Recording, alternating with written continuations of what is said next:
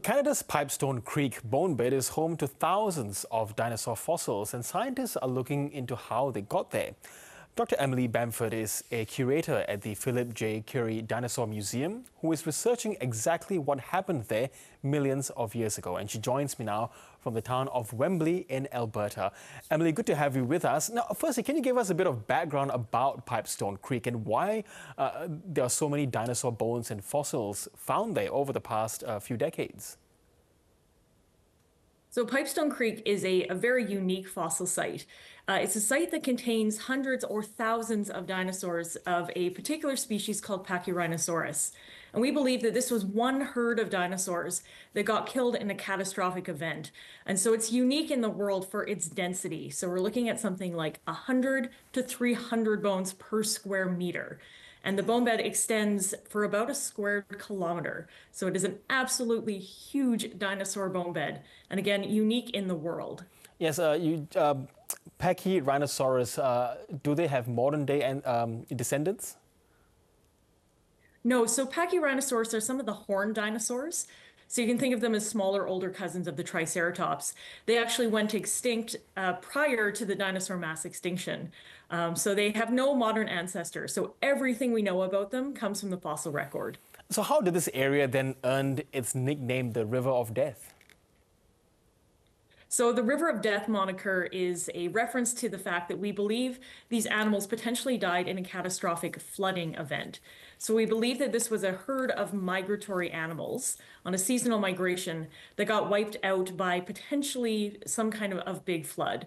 Um, so back in the Cretaceous period, this would have been about 72 million years ago, this particular area of Canada um, would have been prone to flooding. So we were right on the edge of an inland sea at the time, uh, with the mountains to the west of us and the seaway to the east. And so this was kind of a coastal lowland. So things like monsoons and hurricanes were like were likely. Um, any kind of weather event in the mountains that caused a lot of rain would have washed down into this coastal plain. So we believe that this was an area that was prone to that kind of flooding, um, and these animals just happened to be in the wrong place at the wrong time from their perspective, I mean, it was great for us because now we have the bone bed. Yeah, of course. And and and um, what sort of work is being done to sort of prove that theory? So there's a lot of work that's being done at the Pipestone Creek Bone Bed. It is a very active site. Um, so myself and my team were out there every single summer um, excavating at the bone bed. We collect somewhere between five and 700 fossils every year. And in addition to collecting those fossils, we are also studying the bone bed itself in terms of um, some of the, the, the, sedimentary features, trying to figure out what exactly happened to these animals. Um, and so every single year we go back, every single year we discover new things, um, including understanding how the animals died and how the bone bed itself formed. Yes. Can you give us a, a, bit of an idea when you do go on the ground, besides, you know, besides just the digging, what else is it that you guys do physically when you are there uh, to ensure that, you know, you do find uh, the fossils and the bones you're looking for? So the Pipestone Creek bone bed is a we call it a very reliable site. Um, the the bone it's the bone bed itself is it's kind of like a flat horizon of bone, um, and it's underneath a very very hard rock that we call cap rock. Um, so the cap rock we have to get off with sledgehammers, pickaxes, rock saws, things like that. Um, so that's the first first thing we do in the summer is, is, peeling up kind of sections of this cap rock and then we work uh, at the fossil layer underneath it so it is actually it's a very physical job to start with um, and then again, we work throughout the summer.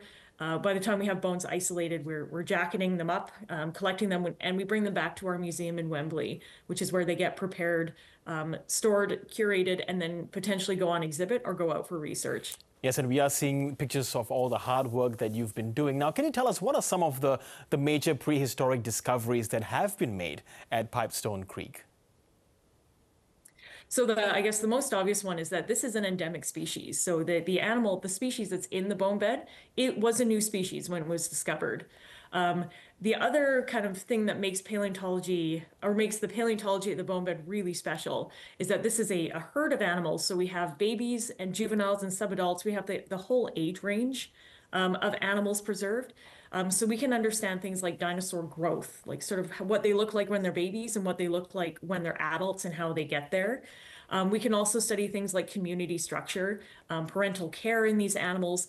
These are things that we often cannot study in dinosaurs because, for the most part, Um, dinosaurs are often found as isolated individuals or maybe one or two, but to find a big bone bed that has hundreds or thousands um, from a single herd allows us to study aspects of dinosaur biology that often can't be, be explored.